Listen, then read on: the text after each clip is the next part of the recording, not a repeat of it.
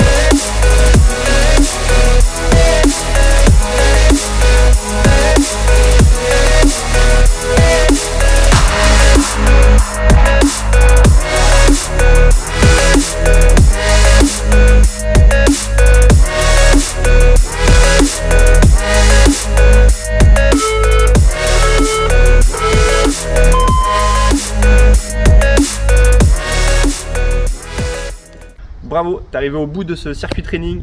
N'hésite pas à le refaire si t'a plu. De base, c'était prévu de faire 3 tours avec des variantes, mais mon téléphone il a pris un coup de chaud, du coup on est resté sur un tour aujourd'hui. Donc aujourd'hui ça va être un circuit de niveau 5, mais si tu enchaînes 3 tours de suite, ce qui était prévu, je pense qu'on est sur un bon niveau 6. Donc n'hésite pas à le refaire si tu as envie de monter d'un niveau, sinon reste à ce niveau là, c'est déjà très bien. Je te dis à très vite, ciao ciao